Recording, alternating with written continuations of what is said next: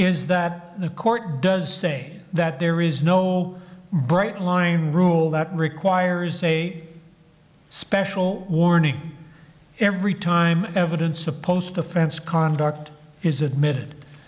And the general rule is it's for the jury to decide on the basis of the evidence taken as a whole whether the conduct after the offense related to the commission of the offense charged rather than to something else. And if it did relate to the offense charged, then it's for the jury to say how much weight, if any, that evidence should be assigned in their final determination of guilt or innocence. Of course, you know that when they say there's no special rule, there's always going to be an exception. So the exception is that where judicial experience teaches that jurors may attach more weight to the evidence than it warrants, the judge is to alert the jurors to this danger in their final instructions. You might ask yourself, how do judges know that? Little further help is offered about the circumstances that engage this obligation. I think it's fair to say, consistent with their general jurisprudence about uh, jury instructions, that no particular formula is required. But you might um, want to take something from the example they use and the example they use is evidence of flight. And what was evidence of flight? It was the poster child for evidence of consciousness of guilt. So the next chapter, hopefully not in another white case. I refer to this one as a paler shade of white with most of you aren't old enough, uh, due deference to Procol Harum, Gary Brooker, and the Edmonton Symphony Orchestra, who did the song Whiter Shade of Pale. Um, the next chapter, no doubt, will involve an exploration of in what circumstances is one of these special warnings uh, required. I want to apologize for my uh, delay. There were a couple of unlawful objects I had to take care of, but And so around the alley. we, we do have uh, one. You got your factum done? No, Greg's not here. Yes, that's right. Uh, We do have one question from the uh, webcast uh, group, and I guess this goes back to your opening remarks, Justice Watt, regarding um, appearing before, well, I guess maybe any appellate court, but mainly the Ontario Court of Appeal. Uh, What advice or tips would you have to counsel that is going to be appearing there for their first time, whether it's a bail pending or uh, an appeal, apart from saying, go watch experienced senior counsel that uh, are there all the time, um, because their concern is that they just uh, are concerned that they'll get it wrong when they show up there. Well, I think um, one of the things I'd, I'd suggest at the outset, and this is this advice will vary depending on um, um, so, whether you were counsel at, uh, whether the um, appeal counsel was counsel at trial or not. Um, in many instances, as I'm sure most of you know, um, counsel who appear before us are not counsel at trial. So if you're in that position, you need um, you need a uh, um, solid information from trial counsel about what the potential grounds of appeal are. Um, although some prefer to draft a notice of appeal that consists of uh, boilerplate, and in some instances it's perhaps unavoidable because you're just doing uh, something to preserve your client's um, right of appeal, um, that does have consequences. And it'll have consequences, uh, particularly um, in uh, bail pending appeal. Uh, because uh, one of the things that we take into account in deciding whether we will release an appellant pending the determination of his or her appeal is uh, whether you've got an arguable case. And if all we see is the conviction was against the evidence and the weight of the evidence, um, the conviction was contrary to law, the trial judge didn't apply a reasonable doubt correctly, It's a bit hard to say on the basis of that, um, that this is a case that's uh, got some arguable merit to it. So one of the early things you have to do is to uh, explore as best you can with trial counsel, uh, get a copy of the reasons for judgment if it's a judge alone trial, get a copy of uh, the uh, jury instructions, any rulings on the admissibility of evidence, so that you can formulate at least more particularized grounds of appeal. You can always supplement them later. But uh, try not to start off, particularly if it's a case where you're, you'll be seeking bail pending appeal with a boilerplate notice of appeal. Uh, Secondly, um, take a look at some notices of appeal that have been filed.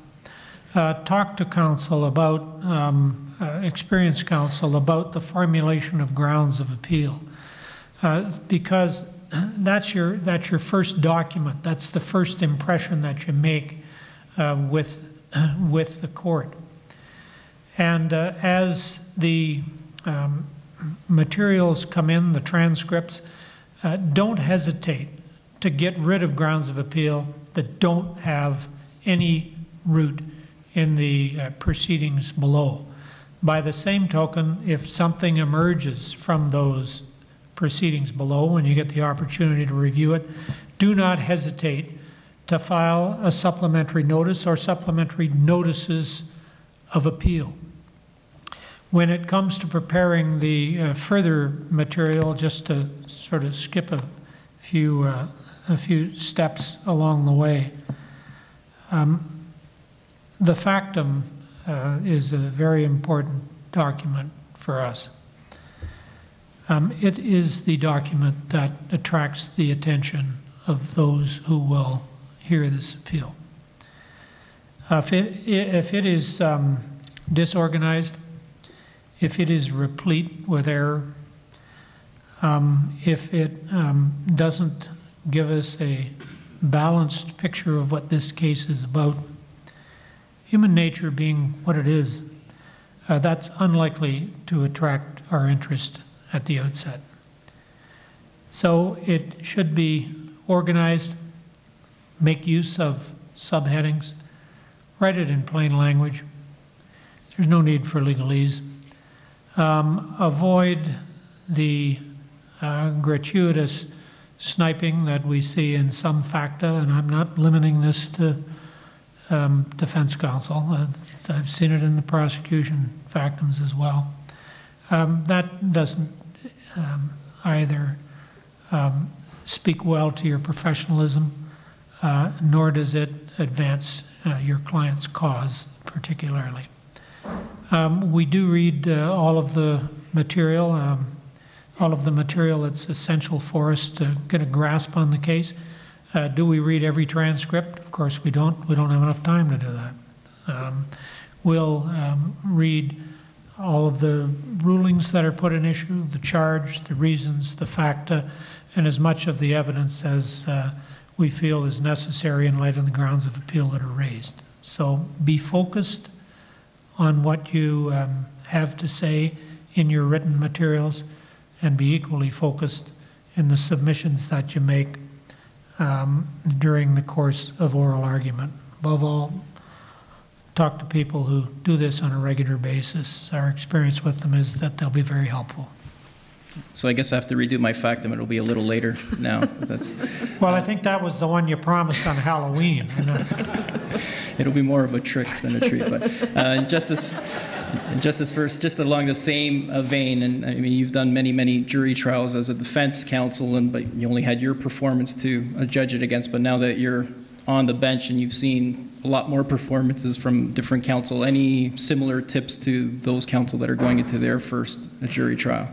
Well, this is not a novel comment. You've probably all heard it from various people along the way. You have to have, for lack of a better word, a theory of your case. You have to have a position that you ultimately want to argue to the jury. And the time to develop that in your mind is not the night before you have to give your jury address. Before the jury trial starts, you should have developed that position or that theory, and everything you do, ideally, uh, during the course of the trial is directed to building that position, building that theory, so that what you're doing when you stand up to address the jury is not giving the jurors a synopsis of all of the evidence that you think might possibly be helpful to your cause, but you're weaving the bits and pieces of the evidence that support your client's defense into your jury address. I, I, I have to say, not just on the topic of jury trials or jury addresses, that um, when I talk to my colleagues who come from a civil law background, a civil litigation background, who as judges are just starting to hear criminal cases, what I hear from them time and time and time again is how surprised they are at the level of advocacy within the criminal bar, both defense counsel and crown counsel, and how much more skillful the advocacy is from criminal counsel, defense, and crown than it is from uh, most counsel in the civil litigation context. So, you know, I, I, I think that uh, even if you're just starting out, you're probably going to court reasonably frequently. Um, you have an opportunity to hone your advocacy skills, and so your address to the jury really is is the time when you should, you know, all of those advocacy skills should be coming together. And, and if you've thought through the position that you're going to argue, the theory of your side of the case, well in advance of the trial starting, you've developed it as the evidence unfolds, then you're going to tie it all together for the jury in your address. Bear in mind, as trial counsel, you're creating the record. As appellate counsel, you're interpreting the record. Well, I'd like to express our thanks again for both of you to attend. This was quite nostalgic, especially for me. Um, it feels like we're back at Osgoode, and was, I'm glad to see it's as informative and entertaining as it was just two years ago. So that's, uh, that's quite, quite nice. We're gonna pip the ride now.